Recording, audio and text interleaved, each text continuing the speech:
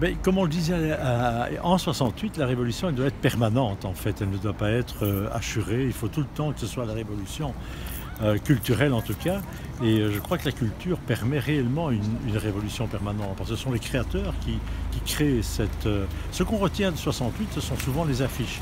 Les affiches qui étaient sur les murs, qui étaient des affiches de créateurs, qui étaient tirées la nuit dans une imprimerie et qui étaient collées sur les murs. C'est ça qu'on retient. On retient bien entendu les luttes sociales, on bien, entendu la lutte étudiante, les bagnoles euh, renversées au quartier latin, mais ce qui reste, ce qu'on voit dans les catalogues, ce sont des produits d'artistes. Et donc là, je pense, que c'est essentiel. La révolution, évidemment, elle peut se faire politiquement comme en Russie en, en, en- en 17, mais prendre le palais d'hiver, ou alors en la révolution de 1789. Mais je pense sincèrement qu'avec les, artistes, c'est la révolution permanente.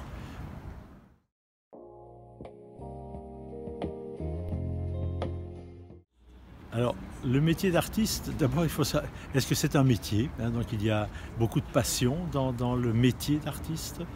Euh, et évidemment, la plupart des artistes espèrent en tout cas en vivre, beaucoup, bien qu'il y ait des artistes qui, aient d'autres métiers. Euh, je connais plein de- de- d'amis qui sont euh, juristes, médecins, cheminots et qui ont vraiment une âme d'artiste.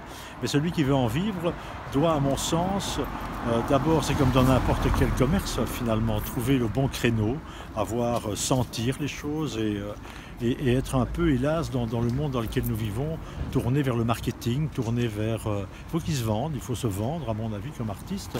Il y en a qui se vendent très très bien et qui deviennent des, très très grandes stars, notamment dans l'art plastique.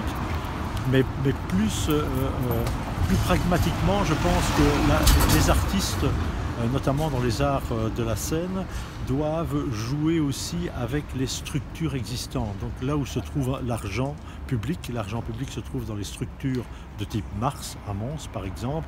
Et donc il faut que les artistes, à un moment donné, et les structures officielles, disons-le comme ça, puissent trouver un accord pour euh, euh, qu'il y ait euh, vraiment une possibilité, en tout cas, en tout cas entrevoir une possibilité d'en vivre.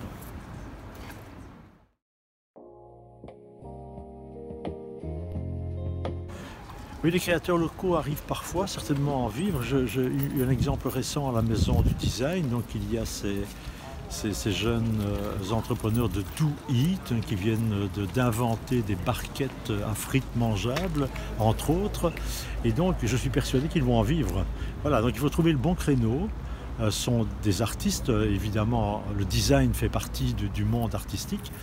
Oui, il y a certainement moyen d'en vivre. Il y a certainement des modes d'expression qui sont plus compliqués euh, pour en vivre, mais là c'est un peu euh, en quelque sorte la loi de l'offre et de la demande, et en l'occurrence c'est plus la rencontre d'un public avec un artiste ou des artistes.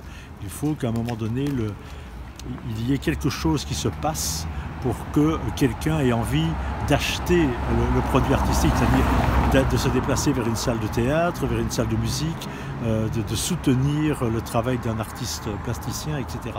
Mais oui, il y a ça, il y a bien sûr qu'il y a moyen d'en vivre.